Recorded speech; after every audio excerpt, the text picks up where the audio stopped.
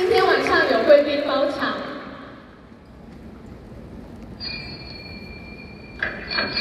啊，欢迎欢迎，我们这边请。Hello，我们这边请，我们请坐。你好，我们这边请坐。哇，这边好舒服哦。那我们今天要喝什么酒呢？好，我们稍等一下，我们准备了，为了这次的活动，我们准备了三款酒精的特调，由我们首席调酒师 Nash 准备了三款的酒精特调。那还有我们的这个雅文老师准备了两款无酒精的特调在酒单上，我们可以参考一下，看三位想要喝点什么。哇，它好漂亮哦！这个好漂亮哦，微笑气泡康普茶，哇，非常好喝哦。然后这杯故事吗？对。好，我我一定要有酒精的。好，这是有酒精的吗？哦，没有酒精的，这边先就来一杯有酒精的。好啊，我要来酒精的。第一页是有酒精的哦，想要喝点什么呢？这个我们两个孩子的妈，嗯，对，所以要喝三杯，对，所以要喝三杯，可以接下来，没问题。那先来逢春好了，待会三杯都喝一下，三杯都喝吗？对，先来一杯逢春还是有没有喜欢特别喜欢的酒精？好，我来一杯，嗯，丰饶，丰饶，好，那您呢？老师，我跟这个呃。风英姐姐很有默契耶，本来想要选丰饶的，那我先来一杯逢春好。好，人生不要一开始就这么多的淬炼。好，先来缝个春。那这位贵宾想要来什么？我还是想要选故事，觉得它这个外形吸引到我，好美哦。好，好，那三位稍等一下哦。好。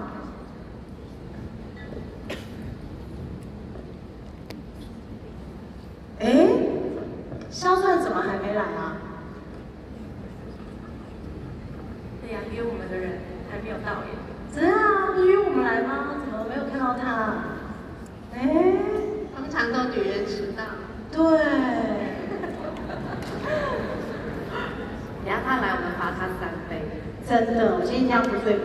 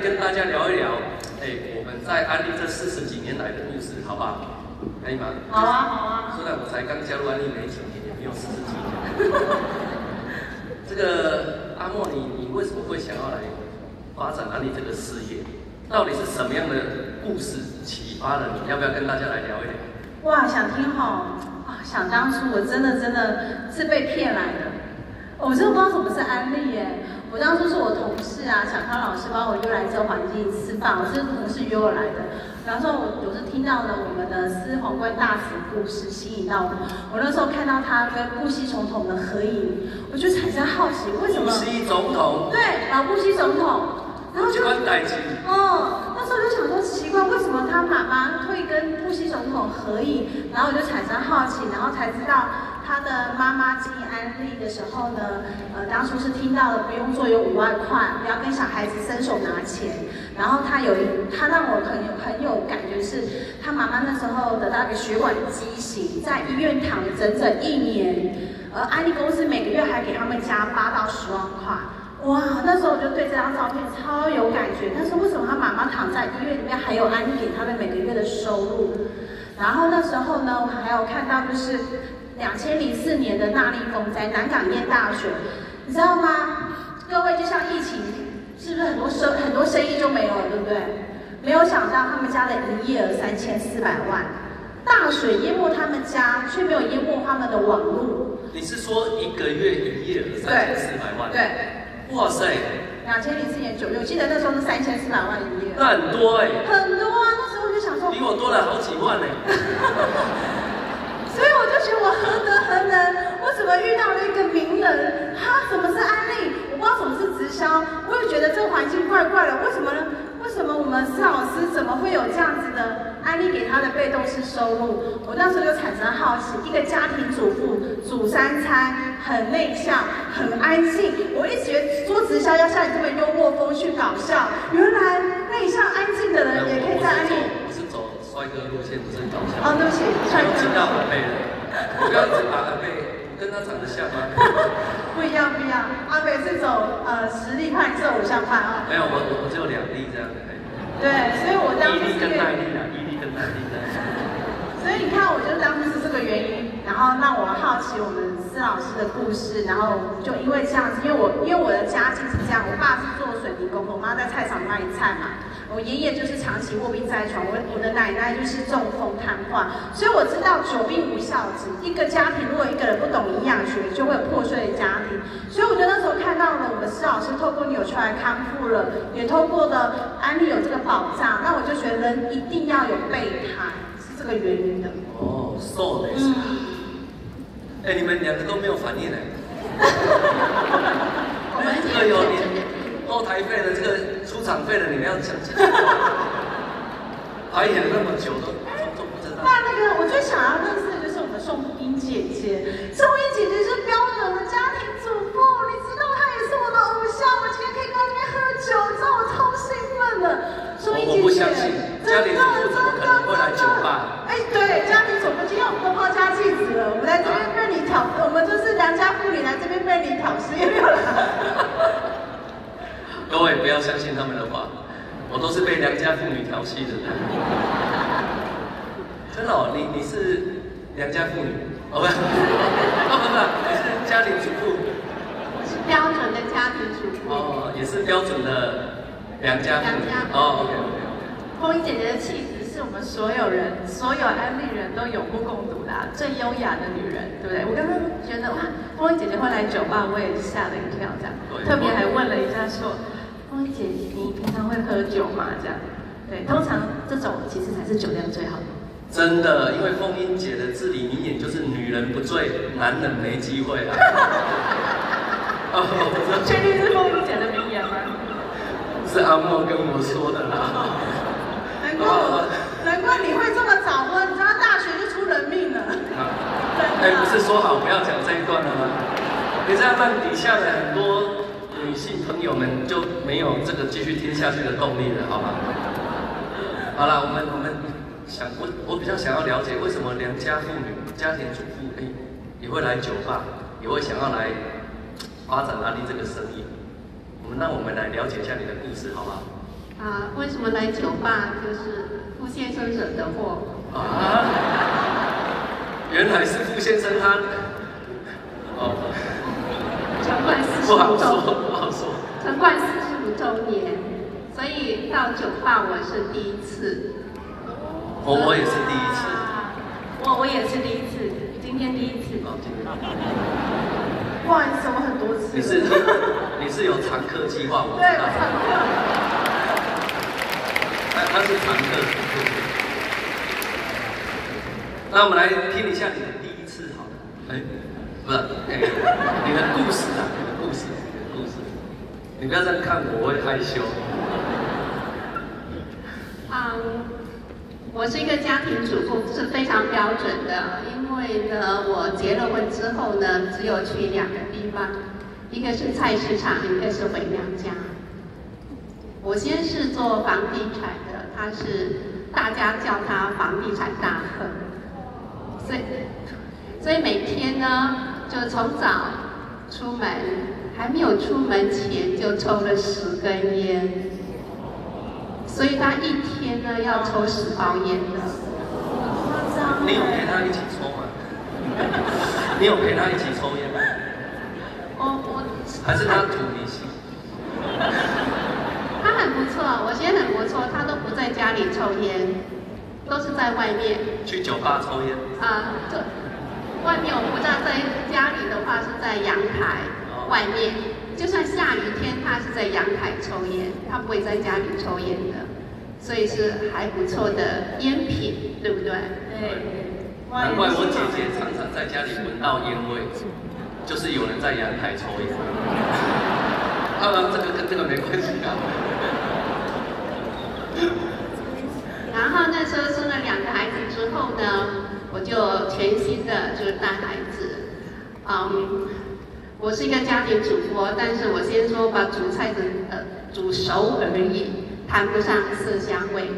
那带两个孩子呢，是从小在小儿科长大，每个礼拜一定要去看医生，一直到后来接触安利事业之后，因为我喜欢安利的气氛，这样你们今天在这，不会感觉气氛很好吗？对，气氛超好的。我知道为什么你煮的菜没有那么好吃，但是呢，你的老公还是喜欢吃你煮的菜。为什么？为什么？为什么因为你就是他的菜。哇！应该是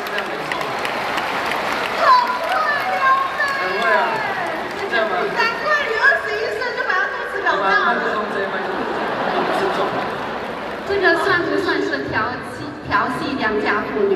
这这是肯定肯定。我说你是他的菜啊，我没有说你是我的菜啊。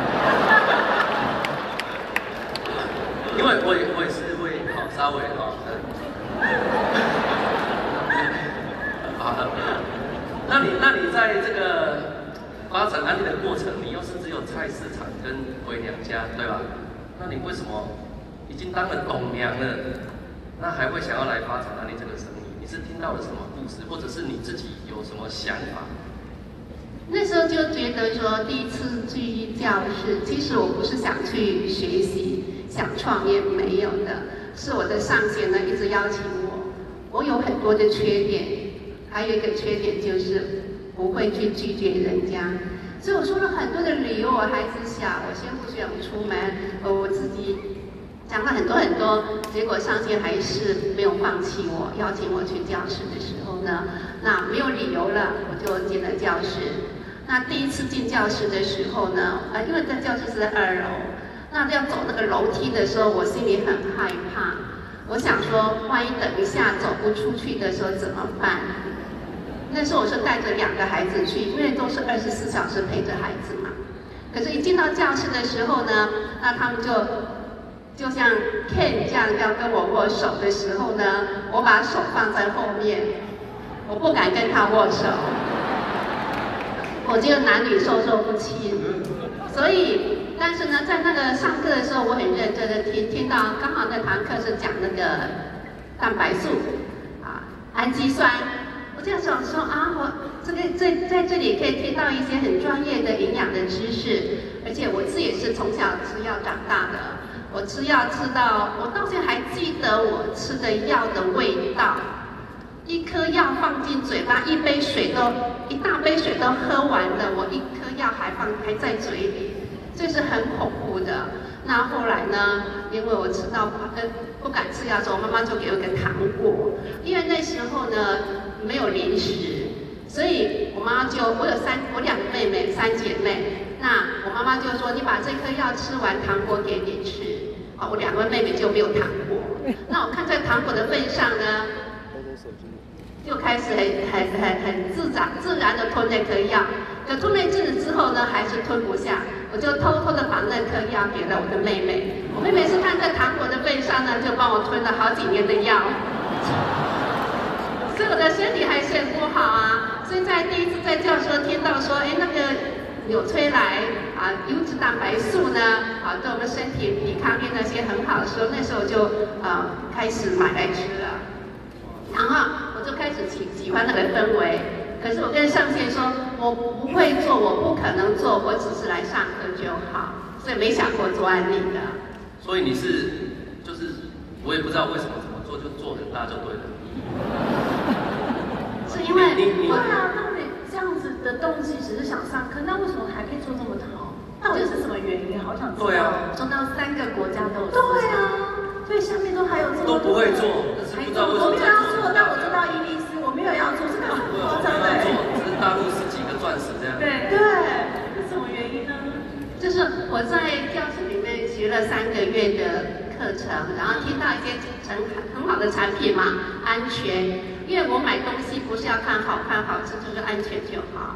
那安全对我们身体又好的，然后最重要的呢，听到他们说可以去海外旅游，然后可以实习。我的两个孩子那时候一个五岁七岁，所以呢，我就为了两个孩子呢，可以实习，世代在继承这个事业，这个但是你老公不是已经是建设公司房房地产大亨，亨那好几百间房子收世袭拾房地产就好了啊。对啊你还有缺儿子吗？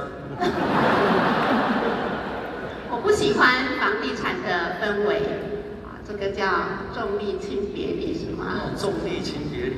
因为呢，你喜欢重利，不喜欢轻别离，还是我喜欢在家里，哦你喜欢在家里？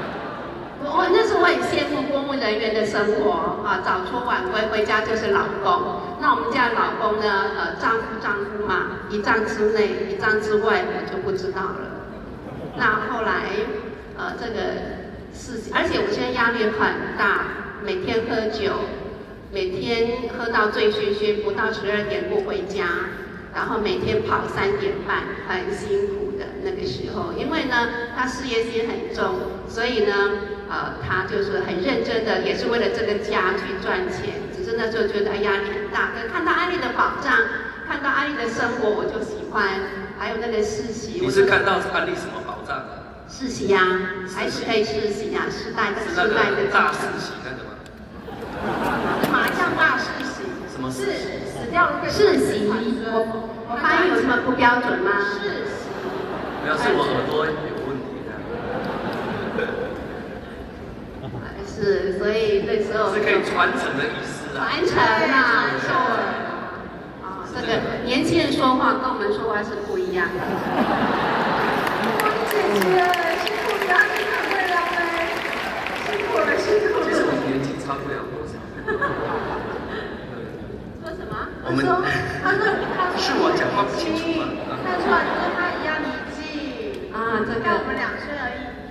啊，谢谢。其实你可以再多喝一点，哎，那你除了想要世袭嘛，对吧？世袭那你还想要在安利得到什么？好像有，因为很多行业其实都是可以传传给第二代啊，那也没什么，对吧？那后来呃，就是上了三个周，想说人家是一年两年啊做到二十一做到百金嘛，那时候想什么一年两年怎么样？可以做到百金。哦，那时候想说，我十年做到白金也值得，好，所以就开始很认真地听教训。然后呢，呃，没有朋友，没有任何的，我亲戚娘家反，婆家人全部都反对，我先生反对更厉害。好，他每天呢，呃，在门外听到他回来唱着歌回来，一进家门看到有几个伙伴在我家的时候，那脸拉得比马还要长。反对到他本来是皮肤不好，用了蜂蜜香皂洗澡，结果皮肤改善了。哎呦，对，是因为反很反对，所以皮肤变好了。那时候慢慢我们做产品示范，他看到嘛，家里有的看到，然后放浴室都是安利的蜂蜜香皂，他就拿来用，结果皮肤也改善了。那后来吃了优质蛋白素呢，他的呃肠就是那个叫什么胃酸逆流，胃溃疡吗？胃酸逆流。胃酸逆流，啦，然后肚子饿也胃也痛，吃饱也痛。但是他那么反对，为什么会会愿意吃啊？很多人反对就不想吃啊。呃，刚开始还好啦，他就觉得说，因为我吃的好嘛，我的身体改善了，然后呢，呃，他就慢慢也吃了，放那边他就吃了嘛，慢慢改善。那时候我没有很积极的做，那后来很积极的做的时候，他去外面买肥皂，然后呢也不吃这么大胆也不吃优质蛋白素，就是无盐的抗的抗这样。哦，是非常非常反对。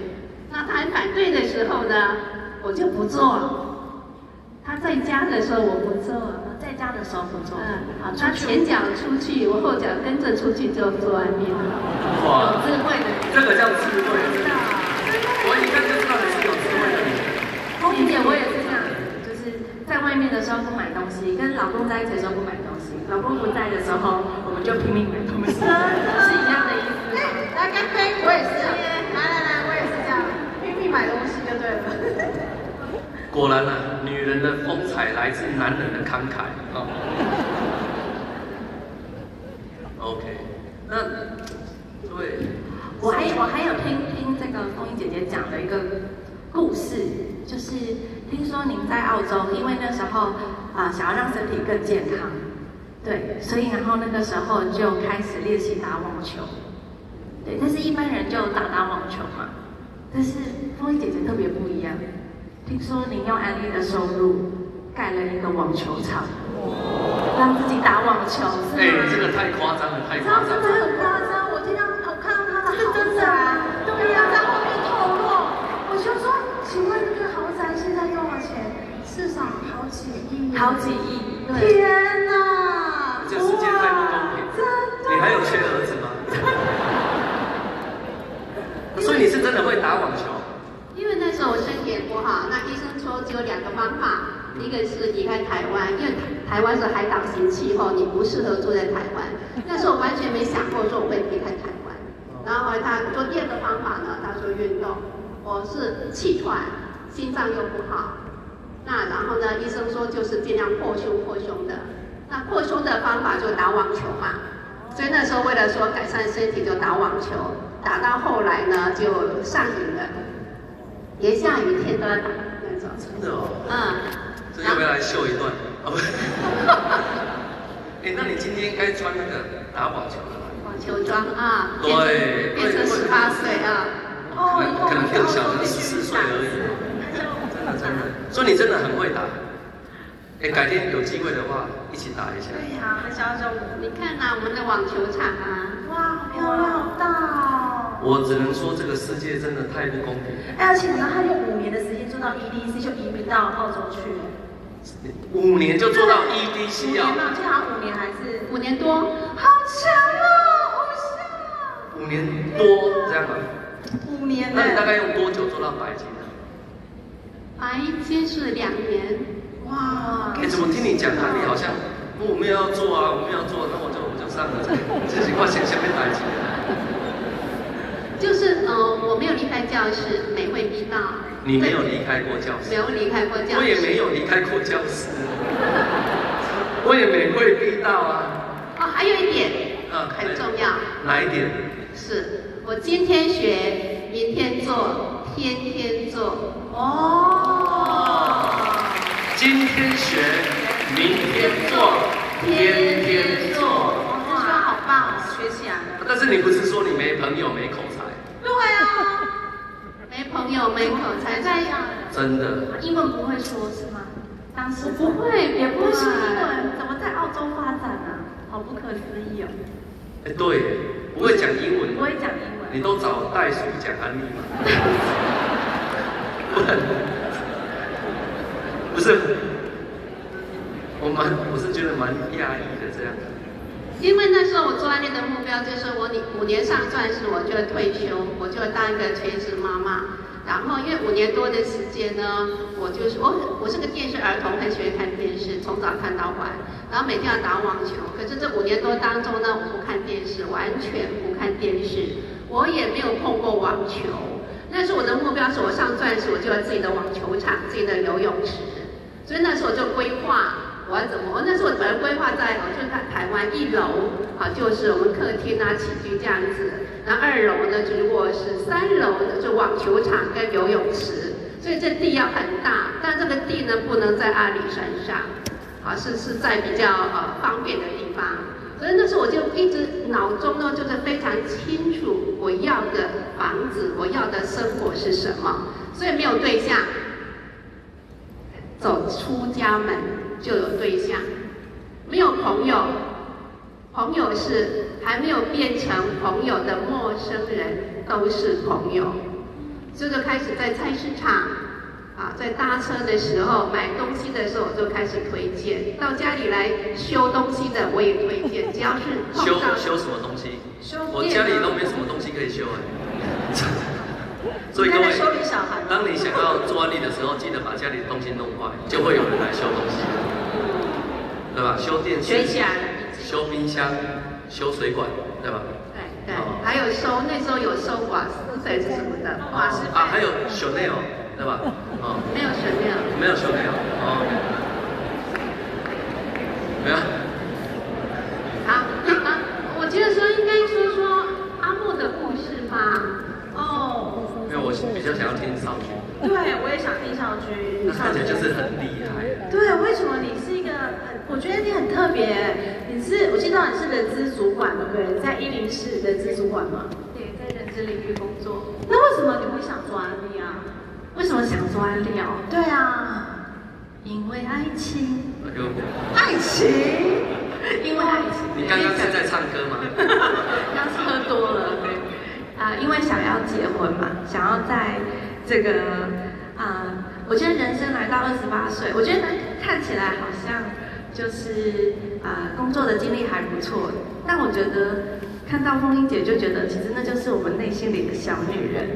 我们也希望相夫教子啊，我们也希望在家里就是打打毛线啊，打老公骂小孩，毛线养养狗啊，对，就是想要过一种很很幸福的婚姻生活，对。但是就觉得啊、因为没有嫁到这个这个，首先是这个啊、怎么讲，单亲家庭的孩子嘛，所以贫穷的家庭出身，所以知道嫁给他，我们就要很努力的赚钱。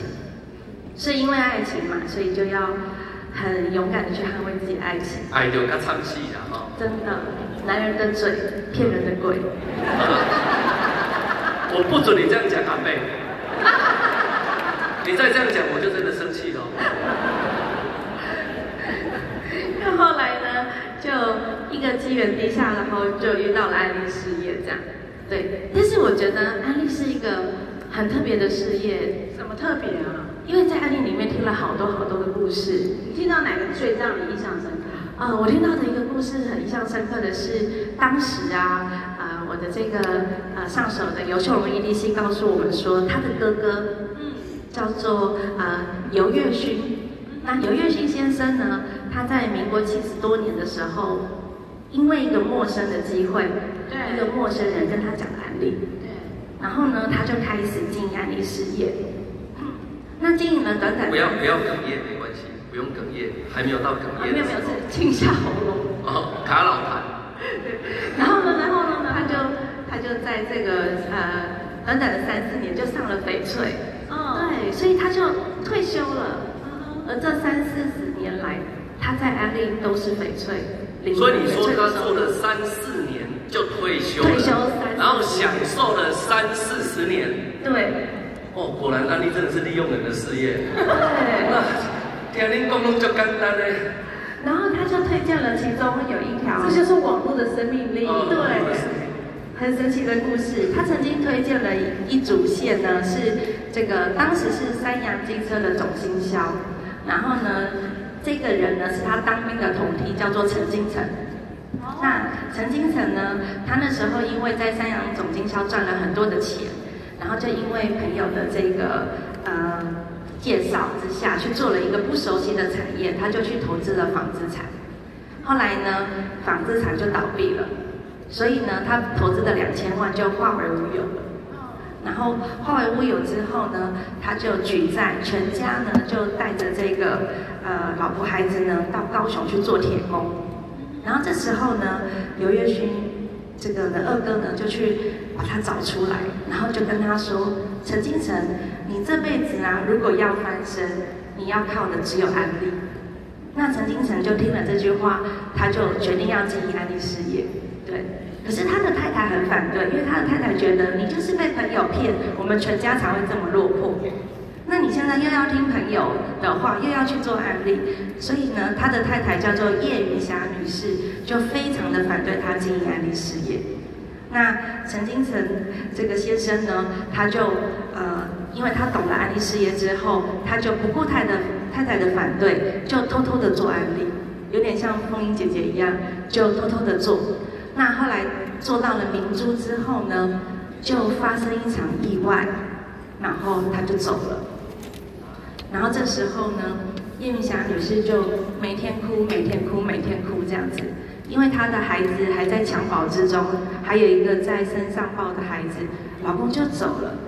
这时候呢，她就哭到有一天，安利公司呢当时是寄支票寄到她家，寄到她的手里，她就看着那张支票，她就告诉自己说，其实我的先生并没有死，只是到很远的地方去工作。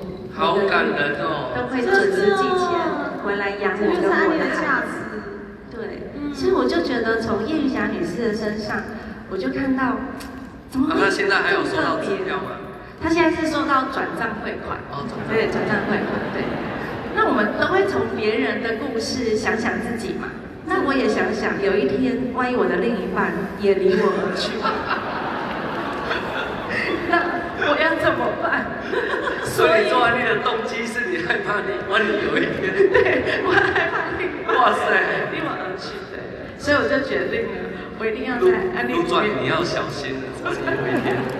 所以我是本号，本号很重要，哦，所以那时候我就决定说，嗯，那我要来经营安利事业。如果安利事业有这种死人帮活人赚钱的例子，或者是当我们有一天不想做、不能做、没办法做的时候，安利事业可以保障我们一家大小的日子。我听懂了啦，就是如果担心另外一半会怎么样的话，就赶快做安利就对了，这个意思吗？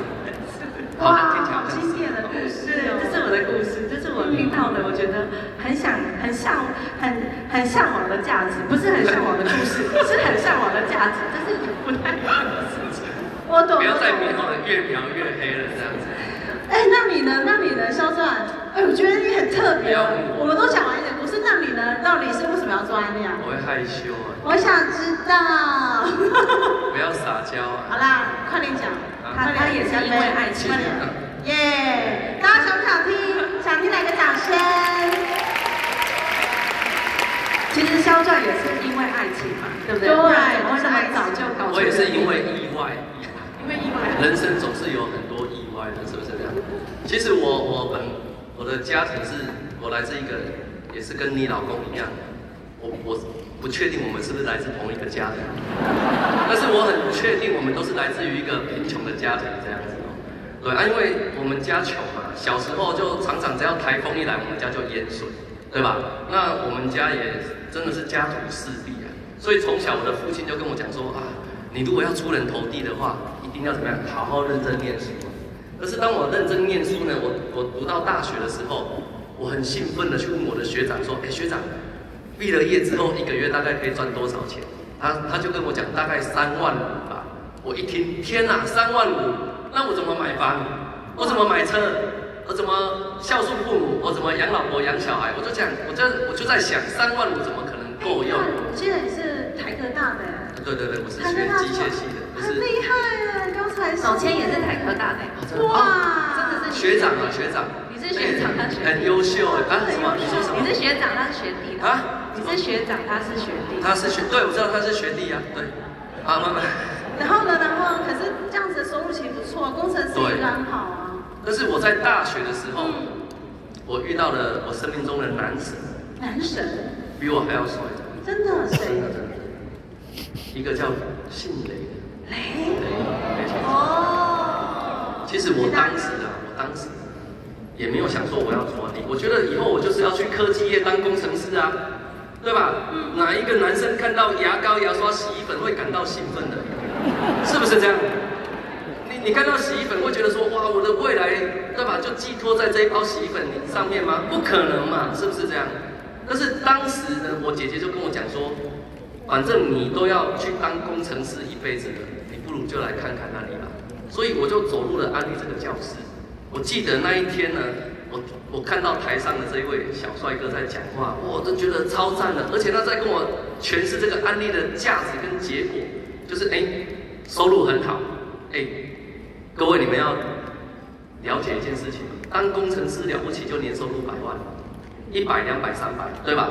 但是当时站在台上那一位，他是这么讲的啦，哦，我不知道这是不是真的哦。晚上他会自己来跟大家证明一下这样。他是跟我讲说，他小学三年级就被留级了，对吧？然后呢，他是读淡江大学国贸系的，重点重点，他说他从大学三年级就开始做安利，那个时候我是也是大学三年级，我就在想，哇塞，大学三年级开始做安利，然后现在站在台上，然后一年都超过一千万以上的年收入，我在思考一件事情，我去科技业可以一年一千多万吗？我看了一下我自己，我是想应该是没什么机会。但是如果台上这一位雷先生讲的都是真的，然后他也愿意教我怎么去做这个生意，哎，我觉得很可以耶。其实我的想法就很简单，山上有灯嘛，灯下有人嘛，自然就有上山的路嘛。我不怕苦啊，我最害怕的是什么？没有人教我怎么去做这个生意，是不是这样？所以当时我就想，好啊，我呢就用我下课的时间，我空档的时间。来追随这位雷先生，对吧？所以我就大学哎就开始来做这个生意，然后呢一做呢，毕了业之后，我在我就在内湖科技园区上班，后来又跑去了这个龙潭渴望园区，后来又跑去了这个台中科学园区，但是呢，我始终都没有放弃安利这个生意。为什么？因为我觉得这辈子三生有幸可以有一个名师可以来指导，是不是这样？哦，所以真的我我很感恩我的师傅。雷雨明创办了皇冠大师，哇，影响我一辈子。太幸运了。我连在家里餐桌吃饭的时候，我都跟我的孩子讲，然后以后看到姓雷的，都是我们的恩公。真的，真的，真的。我因为我们家都会淹水，所以我的梦想就很简单，我想要买房子，对吧？所以我二十五岁呢，就买了第一间房子。哇！三十二岁呢，我又买了第二间房子。哇！我买在二十一楼。我在想。哪怕遇到水淹雷峰塔，如果也淹到二十一楼，那我也认了嘛，是不是这样？对吧？但是我后来在想哦，因为雷大哥做了一个非常棒的典范给我们看，他告诉我孝顺父母很重要啊，对吧？所以我我就在想说，哎，如果可以透过安利，我可以买房买车，让孩子过好生活，哎，我是不是也可以让我的父母也可以过上好的生活，对吧？而且我当时呢，我也在雷大哥身上学到，就是。你的父母亲一定要住的比你现在住的还要好，对吧？我觉得哎，这个太有道理了。所以我买我在呃，二零一二年买第二间房子，我在二零一七年呢，我又买了第三间房子。哇！那时候为什么会买第三间房子呢？就是因为我想要给父母亲住，因为我是彰化的，而我爸爸妈妈就是住在彰化，我很想要给他们一个很棒的一个晚年生活。真的，所以真的孝顺父母太重要了。待会我跟你讲到底多重要。如果一七年买，我不敢跟我爸妈讲，我怕他们会觉得你负担太大。因为我一四年刚交屋的时候，我买的是两千多万的房子，光房贷一个月就要十万块。哇！所以我在一七年我要买第三间的时候，因为我是买预售屋，我在想，我就在算啊算啊算啊，我在算，就是我爸爸七十岁的时候，刚好是二零二二年。二零二二年，我爸爸七十岁，我在想说，我就有一个画面，当我爸爸七十岁的生日，六月十七号那一天，我就把他约到我的新房子来，然后帮他办庆生，然后呢，最后呢那一天哦，真的，因为我当时我是跟我姐姐买在同一个社区，所以我爸爸知道我的二姐，哦，然后买在这个买在这个四楼。但是他不知道我又买在买在那个社社区哦，所以我爸爸二零二一年跟我去到那个社区，他不知道我在那里也有买哦。哇！各位你你可以想象吗？我我又买了一间两千多万的房子，我爸爸不知道哎。然后我就开始装潢，开始装潢，开始装潢。到二零二二年的六月十七号那一天，我就把我爸找来说，哎，帮你庆生的，对吧？然后庆生完之后，我就说，哎，我们上楼泡个茶。那一天的情景是这样，我我爸爸上楼他。他他就想说要上去泡茶，结果门一打开，你知道我爸爸多可爱？他说：“哎，他就跟我姐姐讲，你的电视墙怎么换了？你的电视怎么不见了？哎，你的餐桌怎么不见了？”他就有一点搞不清楚东西南北。他跟他看到他女儿的家怎么不一样？这个时候呢，我就拿起这个，因为我们都是用感应扣的嘛，我就拿起一个感应扣，我就把它放在金翠乳霜的盒子里面，我说：“爸爸，这是给你的生日礼物。”这样，哇，你知道吗？好感人，好感人我爸爸就看着精粹乳霜的盒子，就跟我讲：“我不擦保养品。”我说：“你不擦保养品，你一定要用看看，这个里面的东西你一定喜欢。”哇！这是年轻人的榜样。真的，我爸爸后来就把那个盒子一打开，他看到一个感应扣，用这是下面里面，我说阿爸，我告诉你，这个感应扣呢，整栋社区都通行，而且到楼下吃饭，你只要哔哔哔就好，都不用付钱。我爸爸跟我讲，啊，这个到底是怎么一回事？我说这一间房子是我买的。哇！你知道我爸爸当场跟我讲，啊，你不要跟我开玩笑了啦。我说真的，而且这个是要买给你住的，以后你老了之后呢，你就来这里，你想来你随时都可以来。这个就是让你呢可以有一个很棒的一个晚年的生活这样子。哇！有健身房，一个掌声。有游泳池，一天中六餐。哎，我觉得，我我觉得我很开心的。其实那个时候我我还有一个梦想是，我想说，其实本来是要放两只钥匙，一个是房间的钥匙，一个是买一台宾士给我爸爸。哇！他后来玩股票输掉了。还是算是我就跟我爸讲说。那个车子的事情就再缓个几年吧，所以真的不要再玩股票太多好了，好好追随。专利，好锻炼，然后真的哇，有房有车，是不是这样？所以我的梦想就很简单了，所以我们就在那里，就是办了一个办了一个很棒的我爸爸七十岁的生日，然后再来一个合照这样子。嗯，所以各位，我真的觉得我，不用去想什么啊，我现在的状况不好啊，那不是重点，重点是你的未来能不能够更好。是不是这样？真的，对吧？重，而且我们还有傅先生呢，是，是不是？是，对吧？真的。少君，你听了有没有？哦，我是莫君。啊，莫君。我怎么会看着你像少君？原来你心里有他，没有没有了。其实我真的觉得你真的是年轻人的骄傲。我相信，我当初也是听你的故事长大。学麦克，你听我的故事长大。其实我们都是听宋姐姐。对，姐姐，真的，我就想起我当初啊，也是因为看到风衣姐姐的故事，让我看到啊，条件就是那内向，然后收入这么好，都要做安利。我像我们当初我来我们的团队的时候，也是因为看到了洪会长，然后也是身价几十亿的身价，身价几十亿，嗯，也是房地产大，真的真的真的。那时候他跟我说，他让他去大陆花一亿开卫生纸工厂，开卫生纸工厂。对，问他说什么样的行业可以不分景气好坏、贫富贵贱、男女老幼都要用的。所以那时候我就觉得洪会长怎么这么有智慧？他说安利一千块就可以与人类共生存的生意，然后可以世世代代永恒。能够讲出这种话的人，只有一种情况，就是投资一亿去制造卫生纸。所以你看嘛，我们就没有一亿啊，说我们今天坐在这边用一千块，我们可以做无限大的生意。没关系，我们有两亿。是一个回忆吗？你看，这就是我那时候就是喜欢在暗恋环境，永远听不完的故事，所以我就觉得太神奇了。然后我自己又想起我当初还有个我自己的，还有我自己的组内的伙伴。各位，如果假设你被二零一五年你被医院宣布活不过八个月的时候，请问各位你会做什么事？如果有一天，有一天，上帝要收我们，然后我们是癌症末期的患者，如果有遇到这样的人，他会做安利吗？哎，我觉得不太可能。不会，太难。大概就是去爬喜马拉雅山吧，对吧？对不对？通常郭英姐，如果遇到癌症末期，是不是我从在家里养病，我等死，然后等宣？可是我这个伙伴呢，真让我们太感动。他长期都去印度义诊，帮助出家人，然后盖大。去印度义诊，得癌症的人，对，只剩几个月，然后去印度义诊，对，可是没有。不是就诊。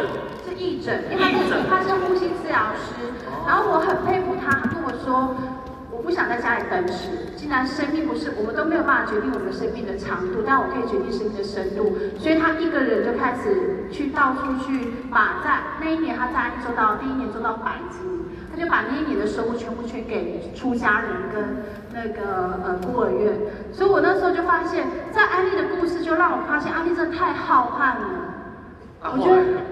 后来他到现在还活着哦，我只看台剧，很夸张，那是吃了灵芝，我没有骗你，真的很夸张，我也觉得很夸张哎，真的真的，他夸大哎，没有夸大，我们不是卖什么露胎盘，我们在 讲话，哎，你小声一点，我们其实呢，我只想跟大跟你分享是，我觉得这个。世界最大的价值，我们有纽圈来，因为我们都知道药物有极限，营养是关键。纽崔莱不是不是不是是纽圈来。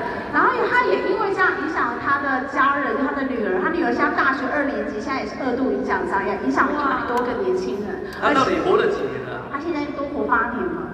多活八年二零年到现在是八年，你是现在是八年。怎么剩剩不到八个月？现在多活八，到现在还继续延续他的生命。我觉得这很歹劲。而且他去年，他去年还做到创办白金，他去今年会被公司招待去博士海外旅游。然后财年，这个财年所以很多人没有办法达标海外旅游的原因是，哎，不要乱讲话。哦，这个人哦因为哦。他觉得未来还很久嘛，慢慢来所以我一啊。直很相信一件事情，就是当你发现很多人就是，我觉得很多人是，我现在才二十岁，可是我的灵魂是八十岁。哦，这个我的师傅说的嗯，，outside young, inside old，哇，you know？哦但是我们是 outside young, inside also young，哇，是不是？对吧？雷娜哥是这样讲没错嘛？所以啊，真的是我觉得这份事业真的太神秘，生生生命影响生命的事业，真的是很棒的事业。所以我自己也是很喜欢这份事业，听到这么多的故事。那我想问的是，我们在安利面，我们通过安利，你有没有最难让你们最难忘的梦想？我想听听看，肖传，你最难忘的梦想是什么？我最难忘的，对对，梦想。其实我最难忘的梦想就是当我这个买房子的那一刻，因为其实我对买房会非常的渴望。其实我你们看我就知道，我不是喜欢钱的人。哎这这什么看不出来我是喜欢很多钱的 我有那么肤肤浅吗？对吧？因为我我觉得钱对我来讲太重要了，因为在我小时候，我我为了吃个面包，我要在家里翻箱倒柜去找到一个五块钱的铜板，去买一个面包来吃，对吧？我我怎么长大我都不太知道了，所以每一年台风一来，我家就淹水。一年淹个三次的，那个不是水退了就算了，那个水一退，那个泥土大概有三到五公分那么厚哎，我还要把整个家里的泥土把它怎么样清掉，对吧？而且你们知道吗？河川跟马桶是有连通管原理的。有的时候呢，我稍微跑步慢了一点，说真的，满城尽带黄金，哇，黄金都是从马桶真的会喷粪的。不可能你来不及兴奋，他先喷粪，真的。所以我我曾经哦睡觉睡到一半，半夜四点多，台风又来了，天哦哦那下大雨啊，哇雷声隆隆的这样子啊，然后家里又淹水，睡到一半床浮起来，对吧？我我跟我爸爸讲说，哎、我们为什么不去买个房子啊？我们为什么不去买房啊？我我觉得这种生活太痛苦了吧！我我小时候就在演少年拍的，只是坐在的是船上是一个那个洗澡盆，上面不是老虎是一条狗，唉，只有经历过的人才知道。我一直到结婚那一天都还在淹水，啊你们你们可能很难想象哦真的很，难我结婚那一天，当天晚上家里还淹大水。我说我觉得你好新娘车来了，我要卷起我的那个西装裤哦，我是涉水，然后拿着那个皮鞋，然后涉水上新娘车。啊天，有这么盛大的典礼吗？我觉得好像阿公阿妈那年代的人哦，真的耶，我觉得你太太很。真的，真的给他一个那个掌声吧，他去完算了。真好笑，真的，我只能说他有眼光啊，有没有智慧我不知道，但肯定是有眼光的。哇，不是因为都是你搞出人命的关系吗？哎，有的时候你怎么没有想，我有可能也是受害者。很多事情很难下一个定论，对吧？好好笑哎因为杜撰也跟我讲，他也是千百个不愿意。他说还没遇到你之前，他的人生是黑白的。我说那遇到之后呢？然后整个都黑了。啊，没有没有，对不起对不起，我我错了，我错了，我不是故意的。我那我想我怎么都讲出来了那那我我想知道少君少君少君，那你的梦想是什么？狂的梦想是开了一家咖啡店。哦，怎么对说？开了一家 Tea or Me？对，coffee coffee 咖啡店，呃，因为很喜欢喝某一个品牌的咖啡嘛，那我就以为呢，所有的行业好像都跟安利一样嘛，使用经营爱用领导，所以呢，我就去加盟了一家呃这个老挝咖啡松德店这样子哈，对，松德店是我的这样，对。哦，我们一定会去光顾的啊。哇，谢谢，对，请大家一定要来这样子哈，我们有一个口号叫做一人一杯救救可少君这样子，一人一杯，救救可少君。对哈，因为我在为什么？为什么？对啊，为什么？因为因为我啊还没倒，还没倒你是在疫情前开对？我在疫情前开的，哇太伟加盟花了三百万之后呢，就发生疫情了。对，那疫情三年至今到现在呢，其实我的咖啡店每个月都在亏钱。也赔了一台宾士。对，赔了一台呃，两台真的真的赔了一台宾士哦。然后呢，每每一年呢赔的钱呢，我算过，真的可以买一颗香奈儿。所以我都说，一年赔掉一一个香奈儿包包，香奈儿包那也不多啊。我以为一个月赔掉一颗一一一年赔掉一三年嘛，所以就赔掉一个病死。对，哦但是我想说，一般的人是真的没有办法这样子赔钱还做生意。对了，有钱就任性嘛。对，呃，感谢安利事业的可以让你继续赔钱跟照顾这样子。对对对，我希望他不要再赔了哈。但是确实，我也想过说，一般的船产的老板如果遇到这样的呃亏钱的情况，他一定自己下去上班嘛。对，那我很感谢安利事业，让我现在兴趣可以留给兴趣，所以我到现在都没有去咖啡店上班。因为我觉得我如果去工作了，它就不是兴趣了，所以我就是啊、花钱买了一个很贵的梦想，然后这个梦想它实际的啊、现在还在持续这样，对对对，所以呢我想要梦想当慈济，不是啦，不是他喜欢进去是要花钱，要就是要花钱。哦持续持啊。续。然后呢，我就想说呢，哦，对，我也我也很想要这个拜托这个呢，这个呃我们的肖传啊，哈，莫君还有这个凤仪姐姐这样，请你告诉你们的团队这样子啊，只要你们报以下的口号来调你店里消费呢，我会打九折的。哇！请大家一定要好好记住，这个口号呢就是呢。这个口号的这个呢发想是来自于那一天呢，肖传说他的女儿都叫他神龙大侠，嗯，哦，所以呢，对，所以我就希望你可以告诉你的团队伙伴，只要呢你来老挝咖啡松德店哦，松德路五十一号老挝咖啡松德店喝咖啡呢，你只要对着柜台的人员说“大侠爱吃汉堡包，我爱陈冠富后肩”，好、我们就能打九折，这样可以吗？大侠爱吃汉堡包，我爱陈我爱陈冠富后对，我想邀请我们领导人一起念一句话，我。爱陈冠夫先生啊。啊，我爱陈冠夫先生啊，大侠爱吃汉堡包，我爱陈冠夫先生啊，对，那老挝咖啡松德店就一定会致上 VIP 的价格这样子。哦所以这是我做了很疯狂的事情，就是明明那么爱喝酒的人开什么咖啡店？对真的哎，我但是我比较好奇是什么？为什么你会有这个大侠爱吃汉堡包？这是从哪里来的？大侠就是神龙大侠，你是神龙大侠，那个梗啊，那个梗是那个年代的的梗啊，哦，你那个年代的梗哦，是不是是那个？因为我们年轻人比较听不懂。阿飞告诉我的，这是阿飞告诉我的，这对是阿飞个人是教我的。阿贝阿贝也告诉我过，对吧？大侠爱吃汉堡包，不是大侠不吃汉堡包，吃了之后全身起泡泡，是这？阿飞教你好多事哦。哦，阿贝真的是，哦，他不仅懂玉理，还懂这个很多人情世故。真的 OK OK。那那你的梦想？我吗？我觉得我你有做过什么疯狂的事情？除了嫁给那个哦，对，我六年上有老公算梦想，那个这算蛮万凯哥，他不是梦想嘛？啊，他不是梦想，他不是是梦想，他是他是我算计的，哦 他是我等到病的。哎呦，对我六天都爱上他，但是我觉得我最你几天？六天，六天。对，这不是梦想吗？这是疯狂。我来看一下。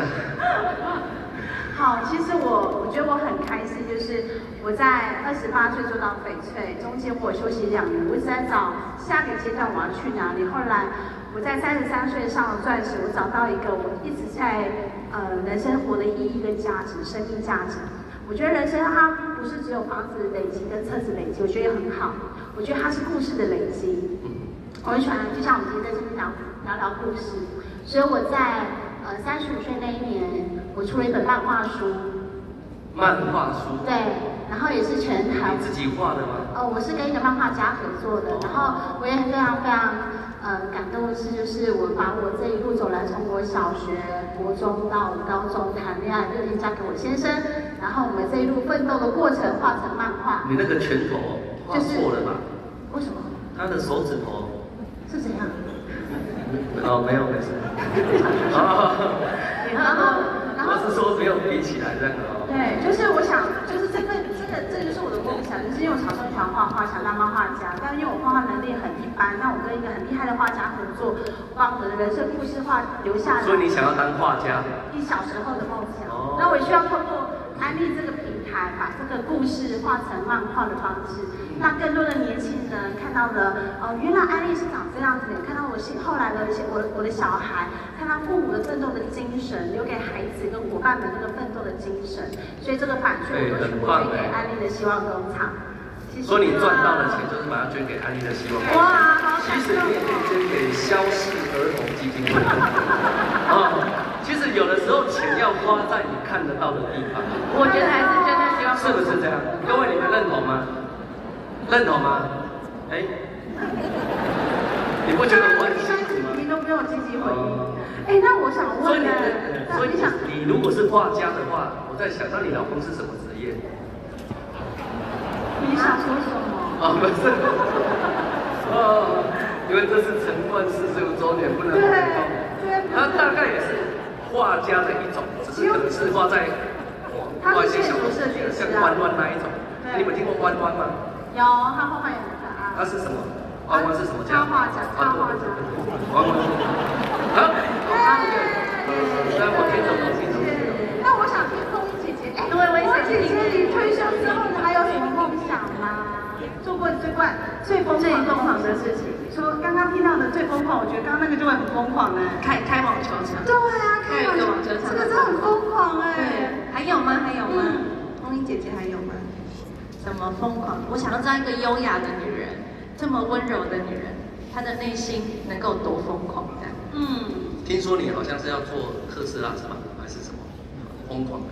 我要做特斯拉。有吗？你要你是说要去外太空？啊，对啊。没有，不要理，不要理他。他都喜欢讲很跳脱的话，继续继续。他每次都很认真，他看懂。我想说。然后很认真想。我想说特。那跟哥吉拉有什么不一样？家已经有特斯拉了。哦，你家有。哇塞！所以我不知道你说的做特斯拉是什么意思。但是呢，我没有很疯狂的事情。但是呢，就是我就是说我的梦想好像都实现了。我自己的网球场。然后呢，我的孩子，我十四岁生了第三个孩子。哇，几岁？四十四岁。四十四岁。四岁。哇，你可以再生了，你两年前又生孩子哦。我十四岁生第三个孩子，然后还是自然生产。哇。所以你是要跟我们讲你老公很厉害，是这个意思吗？然后呢，他今年已经二十五岁了，所以我今年是七十岁。看不出来，你今年七十几岁？看不出来。七十岁了。看不出来哎，你都吃什么？你都吃什么？有吹来。你都用什么？阿提水。哇。什么？什么阿水？雅姿。啊雅姿啊。雅姿保养品。安利的保养品叫对。对，阿提水。哦。三十多年来，啊，每天的纽崔莱跟那个雅姿保养品，我是没有停过的。你七十几可以这样，真的是。七十岁啦。七十啦。七十。Just begin。人生七十才开始，对吧？对，所以基本上呢，我说就那林芝几岁才开始？好好好，你这样怎么让我们风雨姐姐都忘了？我们时间已经不够了。好，因为在做安利五年去年今年才开始，你听我讲好吗？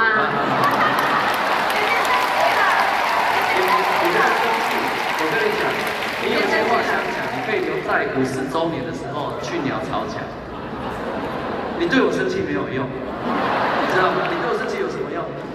你要怪就要怪阿飞啊，找我干嘛？好好了，你赶快讲，赶快讲，赶快讲。想听，不想听。我就觉得说我努力五年多，我的所有梦想都实现了。嗯。啊，看到这张照片，是因为那时候在澳洲的时候，傅先生在我家的时候还说宋公你什么时候开始？我说报告傅先生，我做安利的目标就是我要过着一个退休的生活，然后收入源源不断，所以我没有想过要开始。那后来一个因缘机会之后呢，我在澳洲想开始的时候呢，然后我也没想那么多，没有朋友，语言不通，然后呢，我就这样开始了。开始了两年，两年不到的时间呢，我就做到白金啊。所以之前在客厅上说这句话，就做到白金的时候呢，然后那个安利公司招待我出国两次。我想说澳洲的旅游真的很不错，对不对？白金的一年出国两次，那安利公司说一次是白金的旅游，一次是纽崔莱前五名，招待五名。太厉害了吧！然后因为这些我完全不知道，因为我不懂英文那澳洲不是很大吗？很大，非常大。你是骑着袋鼠去跟他们讲啊？你不是？我就是每天去，每天去 shopping center 就去认识人开始。听说你不会开车哦？我会开车啦，做完做钻石，我坐钻石才买自己的车。那时候我就很努力的时候呢，那时候带着两个孩子上学，骑着摩托车。我刚刚开始是骑脚踏车做案例的。哇！那后来觉得骑脚踏车不方便，浪费时间，我才买摩托车。那时候才买二手的，偷偷的买二手摩托车，因为我先生就说摩托车很危险。他不要买摩托车，那后来买了二手摩托车，我省吃俭用的啊、买了摩托二手摩托车之后呢，我先看我，呃，既然买了，那就买部新的嘛，这才开始骑着摩托车做安利。买杜卡迪吗？哦，那没关系，继续继续。然后呢？然后呢？然后在澳洲的话，就是呃，我就是走路到那个 shopping center 大概是十分钟左右而已。啊，就本来本来我住在那边好多年，快十年的时间呢，就是那个 shopping center 很近，但是呢，我就一个礼拜或者两个礼拜去一次买菜。那要做安利的时候呢，我天天去，天天去认识人，只要会说华语的话，我就跟他开始认识，然后就这样子呢，然后分享纽崔莱。所以在不到两年的时间呢，我纽崔的营业额是全澳洲第三名呢。哇，好厉害哦！好厉害！好犀利啊！因为这些我都不知道，这公司两国两次海外旅游的时候，我在请我儿子看我们的戏，啊，就说为什么可以招待这样子。然后呢，呃，后来公司呢，安利公司呢就打电话给我说，也是透过翻译啦，打电话给我说我有什么需求，公司能够怎么帮我。那我说我只要求要有一个会说华语的就好了。所以公司很快的呢，就安排一个会说华语的跟我沟通。就在安利公司的客服里头，就有个说华语的。现在好像可能越来越多说华语的，就公公公一买通在澳洲。哇！公台义买通。哇！公益啦，公台义啦。啊，各位贵宾，不好意思，我们今天营业时间已经到了，所以你看手表忘记了。好吧，好吧，这是我们陈冠这四十五周年这几十年来的故事，对吧？真的，真是聊不完呢。那我期待呢，陈冠五十周年的时候，哎，也可以听到各位的故事，好不好？好。好，希望今天我们的这些故事呢，你们能够啊喜欢，可以吗？那你们猜到了这个破军的老公是做什么职业的吗？好，OK，那我们今天的分享就在这边结束了。好，谢谢各位，谢谢。